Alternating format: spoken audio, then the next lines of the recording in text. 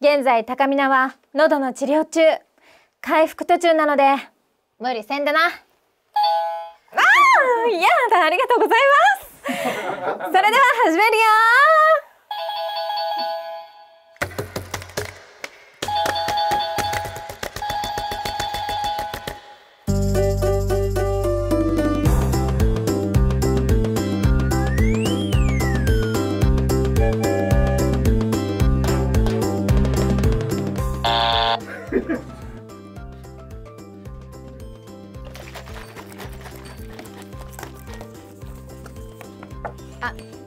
ちを。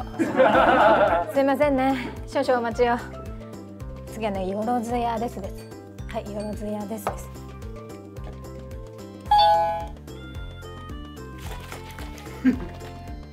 せーの。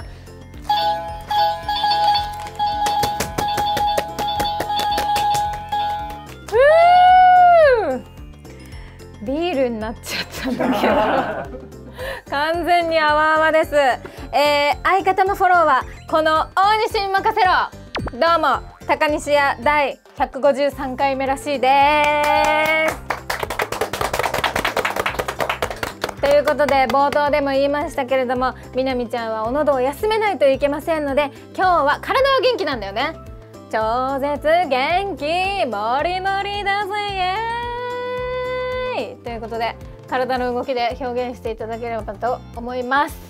危なかったよ今。ねべべだだとって危ない。あ何か言いたいそうです。ちょっとみんな待っててね。もう完全にさあれなのよ。もうマスクに罰でさなんだっけしんちゃんの春日部ギャルギャルズ集団みたいななんかいたよねそんなのね。えー、今日は100円なしにして？え？あんた！あんたなんて優しい女なの？いいんですか？噛み放題です。ありがとうございます。ということでねまあね私クラスになれば高見菜が何をやりたいのか何を言いたいのかちょっと今待ってほしいなのか何なのかもうすぐわかるわけですよ。もうえ？丸3年やってんの？本当ですか？そんなにやってますか？やってるんだってみなみちゃん。イエーイ。ということで、えー、今日は高見菜はくれぐれも喉は無理せず元気なリアクションでお送りしていきたいと思います。イエイイエイエイイエイあそう先週先々週とね2週にわたって見どころ満載の傑作選をお送りしました。傑作選の第3弾と第4弾で第59回まで振り返りました。全然追いついてないのよ。今日153回だから。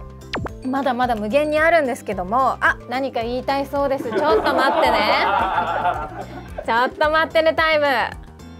ちょっと待ってね。ちょっと待ってね。ちょっと待ってね。ちょっと待ってね。ちょっと待ってね。ちょっとはい来ました。はい。あと何回か総集編とそれな？それをさもうここで使い切ってもいいんじゃない？別にね来年再来年に取っておく必要はないでしょう。ねえ。ということでじゃあ来週は総集編まあまだストックはありますのでまあどうにかこうにか毎週皆さんに何かしらお届けできるんじゃないかなと思いますよ。そしてあのね傑作選を編集してくれたのはミスターくまモン。ありがとう本当にしかもあの時代はクマもいなかったんですよセカ所に。だから一から全部高西屋を見てくれてあ面白いって思ったところを抽出してくれてるらしいのね。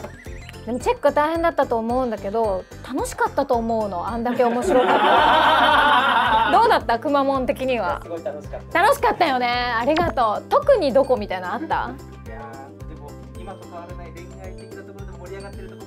なんか今と変わらない食レポもあれば、うん。やっぱ距離が近かったんで昔はあー。やっぱりバチャバチャバチャってのが見れてすごい楽しかった。確かに。あれまだなかったんだっけこれ。うーんてかもう考えられないんだけどこれがない世界がさ。てかこれない時私たちめっちゃ近かったって言われてるよね。近かったんだね。今近づけない。遠い。なになにみなみちゃん。シマモンは過去の見たことある？確かに。あれ？編集しないじゃんシマモンは映像。本当に？だちょっと面白かった。特にさこれ面白かったなみたいなの言ってもらってもいい？あでもこれクマモンと話したんですけど後ろのやつ。名前何にも分かんなかったんでちょっと何なんだろうと思ったんですけど今回のスカウト編で名前とかもあとなんかどういう経緯でできたことも分かったんであこの兆候？兆候はい。あー。でもそれは2人で話してたことだよね でしまもん一人でねどこが面白かったかね。言ってよ言ってよ。教えて。一さ視聴者として。お願い。そうやっぱ反映していきたいから私たち。あれなんか総集編で見ると。それさ編集されてるとこじゃん。それ総集編じゃんね。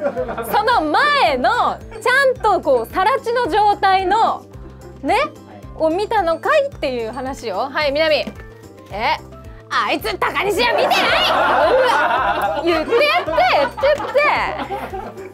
ちょっと待ってシマモンはさどの番組が一番好きなのよ。今何を担当してんの？高西屋と？やっぱ映像系の番組は全部あや全部やってるんだ映像系は。すごいね。でその中で？全部大好きですよまあでもそういうしかないよね。ちょっとくまモン後で聞き出しといて。それで密告ね。よろしくね。そうでもくまモンがねいい感じに編集してくれてありがとうね。本当に。助かりました。えそしてあのちらちらと私たちが写真撮影をしている様子もお届けしたんですけれどもあれによってぬるっと「セカショカタログ2022」の制作がオープンになりました。どんどんパフパフ。ということで今年もセカショカタログを作っております。あ、みなみ何か言いたい。何か言いたいよ。何が出るかな。何が出るかな。ルルルルルルン。ルルルルン。何が出るかな？何が出るかな？ルル。ル2022の割には遅い。確かにね。これいつ発売されるんですか？多分2023くらいなってるんじゃないですか？2000うん。去年も今年1月とかだっけ？出してんの。じゃあ違うじゃんね。2023じゃん。ヘリクツだ。ヘリクツだね。年度だったらいける？え ?Why? どういうことだよおいってね。ということで2022まあ2022にしておきましょうか。あのお楽しみにしていてください。シャインマスカットを全然前回ぐらいに食べたんですけどそれをあのプレゼントしてくれたカメラマンさんに撮ってもらったのでちゃんと2人でねごちそうさまでした。ありがとうございましたっていうお礼を言いながら写真を撮りました。はい楽しみにしていてください。あお取り寄せしちゃったの私たち。イエーイ。えー本日のお取り寄せのコーナー34件目となる今回は長崎県。山賊仲間ショタンさんそして山吹モラトリアムさんのおすすめ。岩崎本舗長崎角煮まんじゅう10個入りお値段送料税込みで5816円。第28回長崎県特産品新作展最優秀賞受賞豚バラ肉をじっくり煮込んだ角煮。ということで。こちらはこちらは、えー、と自然解凍からのレンチンで、えー、美味しくいただけるということで。ティティーン。食べていきたいと思います。食べようみなみも。みなみもその春日部ギャルズみたいなやつ外して。なんだっけ？本当の名前知りたいわ。え？紅さそり隊？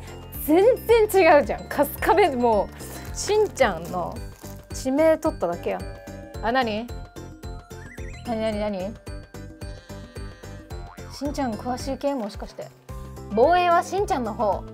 防衛幼稚園隊みたいな。そういうこと？風間くんたちの？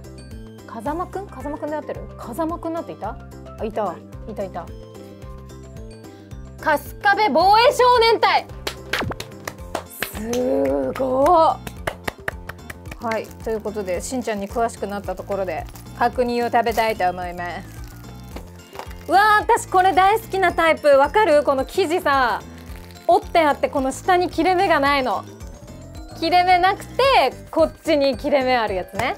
いいね。あ私も消毒しよう。気づかせ音で気づかせてくれたみなみが消毒しなはれって。みなみ先食べな。いただきます。もぐもぐもぐ。あーおいしい。あ私。えじゃああじゃあ待って私も当てれこしてって言おうと思ったけど無理だった。じゃあちょっとくまモンお願いしていい？くまモンお願いしていい？ちょ可愛い感じでお願いしていい？よろしくね。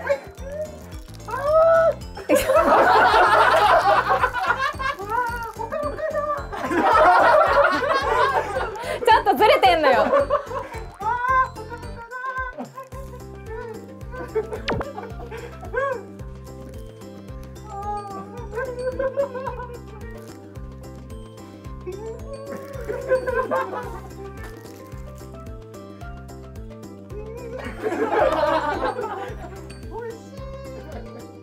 やべえやつじゃん。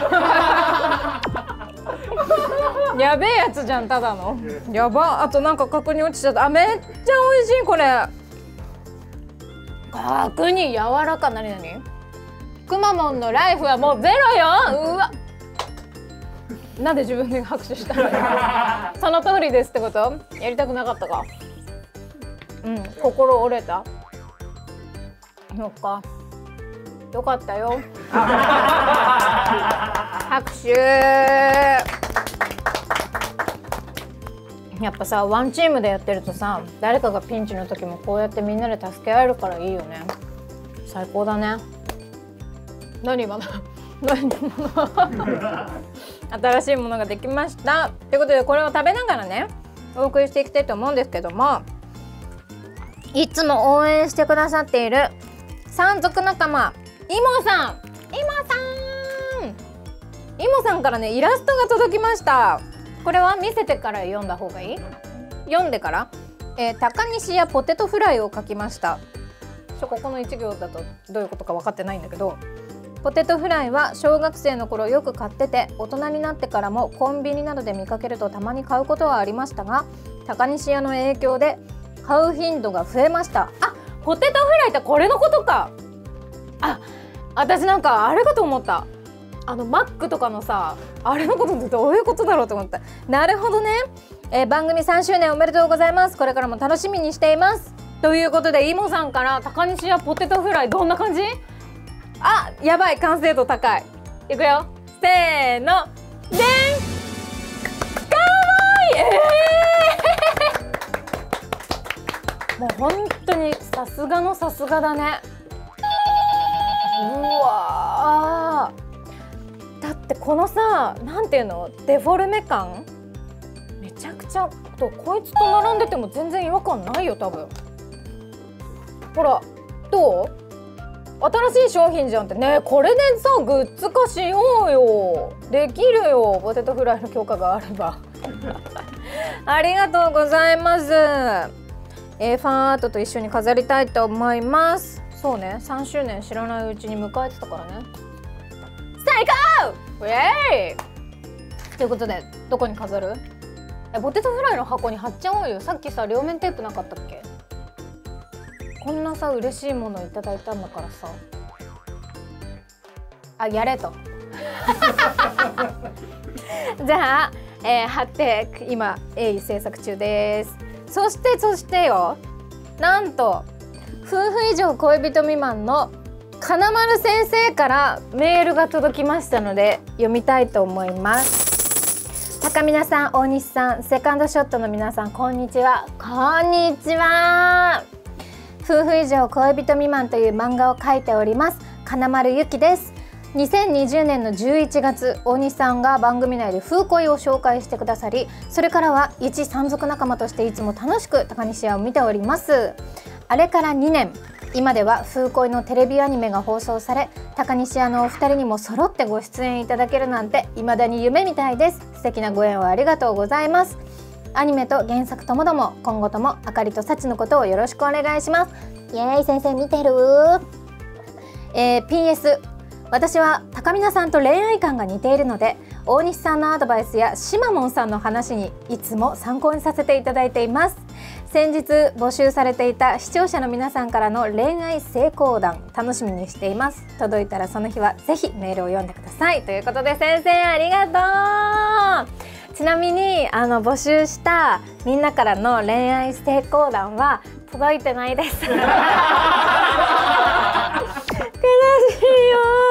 よ。なんかねあの恋愛系のメールは何通かあったらしいんですけど特に成功せずにこんなことがありました以上みたいなものしか届いてないらしいんで参考になるかどうかわからないなっていう感じなんですけれども南私は気づいてしまったんだよ。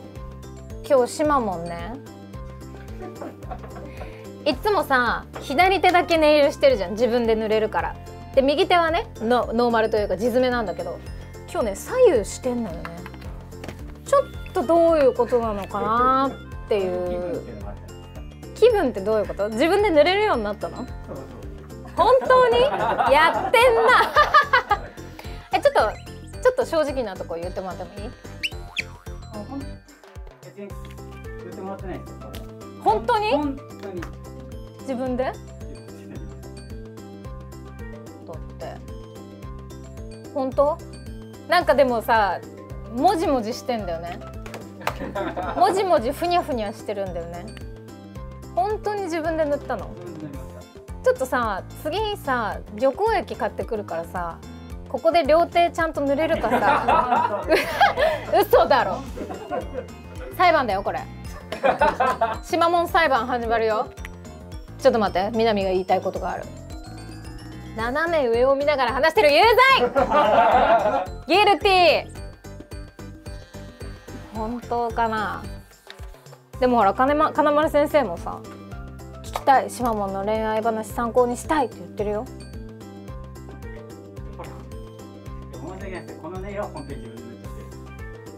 で。もじ女子とは？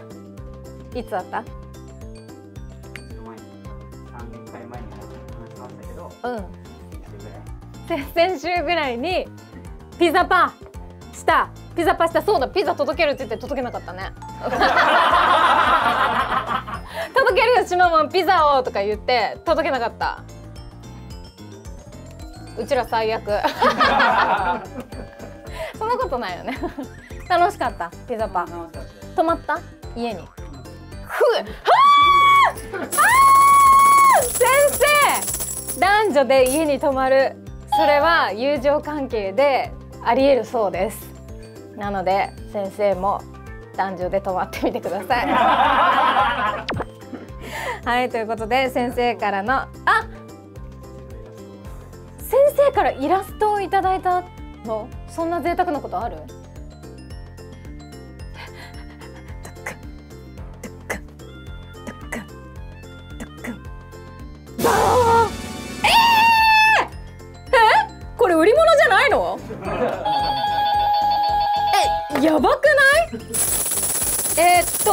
南が演じているさちちゃんですね。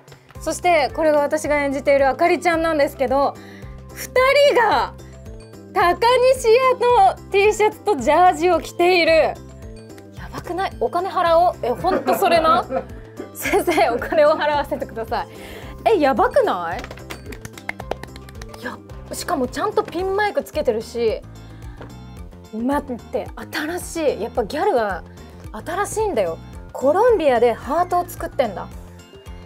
もうルダハートとか指ハートとかそんなのはもう古い。コロンビアハートなわけね。こっからは。えすごくない？新しい時代切り開いてるわ。あとね T シャツの凹凸が全然違くてすごく悲しくなるわ。見てこの私たちのキャラさめちゃくちゃご立派なのよ。すごいよね。アニメを見てくれてる人はわかると思うんですけどみんな本当にご立派で夢見せて そうだよねそうだよね。これもちょっと飾っておきたいね。ここ豚ちゃんのとこ。どうにかなんない？これどうにかなんない？数字上一本 一本いけない数字上ああああああはははあははあごめんなさいあすごいすごいすごいすごい。見える？でちょっと光っちゃう。これファイルからちょっと出す？でもお茶とかこぼした日にはだよ。これデータでもらってる？あじゃあ何枚でも生き返れるね。おおはい。ということで先生そしてイモさんありがとうございました。いや愛されてるね。そして大事なことよ。10月分の番組ツイッターのフォロワー数による追加予算が出ました。金額はこちら。ブイン。そして現在の高西屋の予算はこちら。ブイン。ということで今回も高西屋よろしくお願いします。高港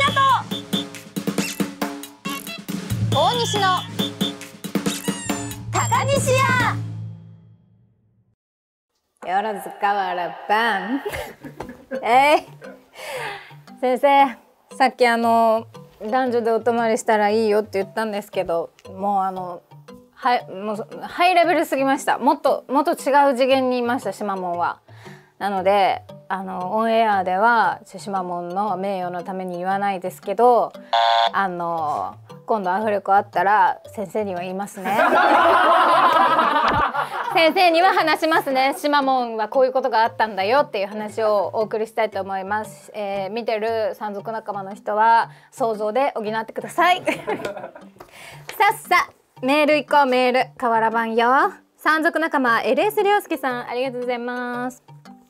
先日人生で初めて女子同士が殴り合いをしている場面に遭遇しましたお互い髪を引っ張り合いながら顔面にパンチ肘打ちなど恐ろしい光景でした。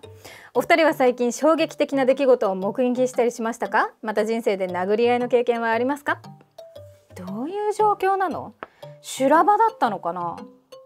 だからシマモンみたいな男がいてその男を巡っての A 子と B 子のもう殴り合いだよね。これはね完全に。髪引っ張ったりとかするのってだってドラマでしか見たことなくない？あれそんなことないの？もしかして。みなみちゃんの意見が出ます今から。嘘でしょ？アイドルのコンサートで見たことある。それはどういうこと？えっ、と女アイドルたちの髪の引っ張り合いってこと？じゃなくて女の子がファン側ってこと？であんたに向けたファーサーじゃないわよ。私のファーサーやキーみたいなってこと？あサインボールみたいなやつってこと？はいはいはいはいはい。サインボールみたいなのが飛んできてそれのもう奪い合い。あらそらって。怖っ。なんかさ本当に偏見だけどさ女子のこういうやつって一番怖いなって感じ。なんかあの野球とかでもさホームランとかでボール飛んできたりとかするじゃん。なんかああいう方がなんかまだ平和なのかなって私野球見に行ったことないから分かんないけど思っちゃうんだよね。サインは別の人が持っていった。本当にその人が一番頭いいよ。あって喧嘩してるからもらっちゃおうってこと。えー、恐ろしいね。あ双眼鏡で見たらキーキーキーキーキーキーってやっててやってるやってるやってるやーってでしれっとっていう女がいたんだ。泥棒じゃねえか。あ持ってってる持ってってるよって私のよキーって。えねね持ってかれてるよって。まあそんなこともあるさな。えー、どうだろう。最近衝撃的な出来事あった？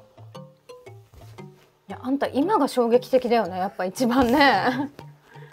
一番直さなきゃいけない時。えー、なんだろう衝撃的な出来事？衝撃的？なるべくなんか刺激を受けないで生きていたいからな。あでも最近別に衝撃的じゃないけど部屋真っ暗にしてご飯食べてる。なんかなんかさ疲れちゃってさ。なんか家にいてもでテレビとか寂しいからつけてるじゃん？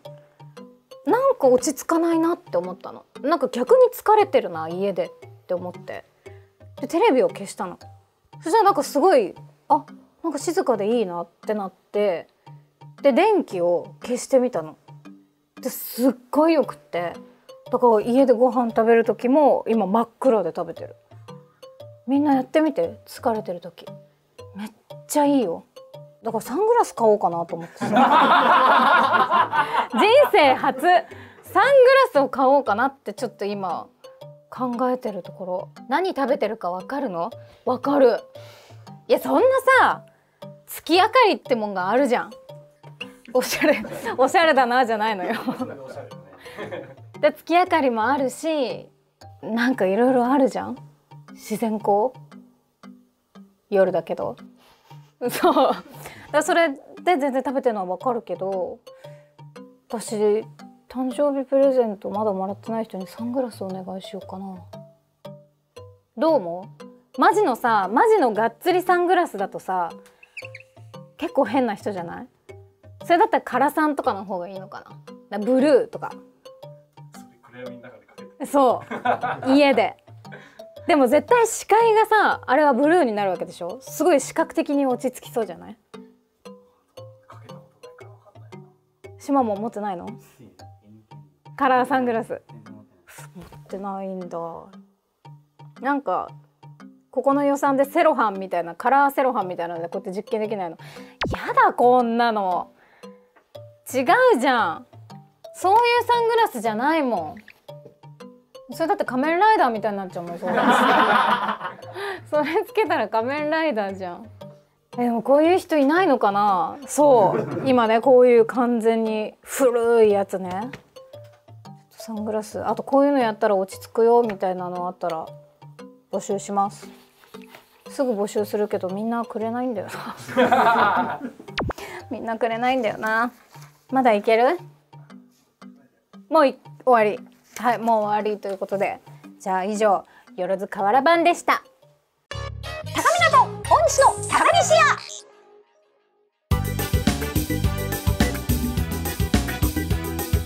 お送りしてきました高湊大西の高西屋いかがでしたでしょうか？番組では各コーナーへのメールをお待ちしています。メールアドレスは高西アットマークセカンドショット .jp です。各コーナーは番組ホームページにも掲載していますのでぜひ確認してみてください。